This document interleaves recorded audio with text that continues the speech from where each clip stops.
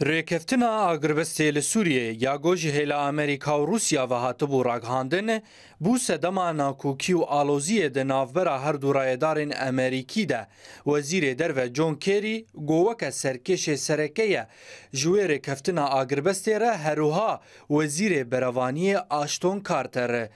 آشتون کارتر و لگوری روزنامه نیویورک تایمز یا امریکی یک جوان برپرسین امریکی گل دی جیویر کفتن آدنافبرا واشنطن و موسکو ده سکنی و او ردکرین خو ده هیاما هفدیتنک سکایبی ده لگل جون کیری گوش جنیفه ده آخوی دیار کره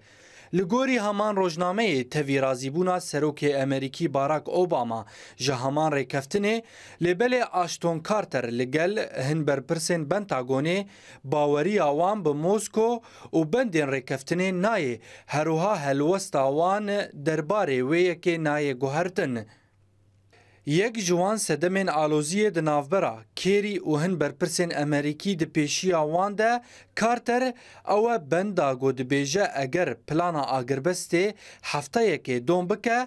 د جنوب امریکای ارکی لسرخوا لباره و آگربسته پیک بینه و ئەو ئەرک لە گۆری ئاگاهیان گۆ پشتی هەفتەیەکێ دێ ئەمریکا و رووسیا زانیاریên hevbeş bi hevre derbarê şerê terorê li Sûriye veguhêzin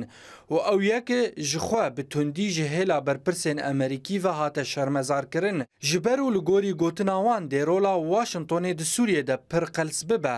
li hember rola Moskoyê û wiha dê serkeftinek ji nû re ji Rûsyara were êmzekirin. ئەو نەرازیبوونا ئەمریکی لە سەر وێڕێکەفتنێ بشێوەیەکی دن هاتە دیارکردن. دەماگۆ بەردەفکێ بناوێ کۆشکا سپی جۆش ئارنێستە دریا داخویانیەکێرە دیارکرێ گۆپر سەدەم هەنە گۆنەباوەری بنیە تا رووسایە لەبارێ پێکانینا ئاگربەستێ لە سووریە هەبە و ئەو یەک دبە ئاستەنگە لە پێش تەولیبوونا ئەمریکا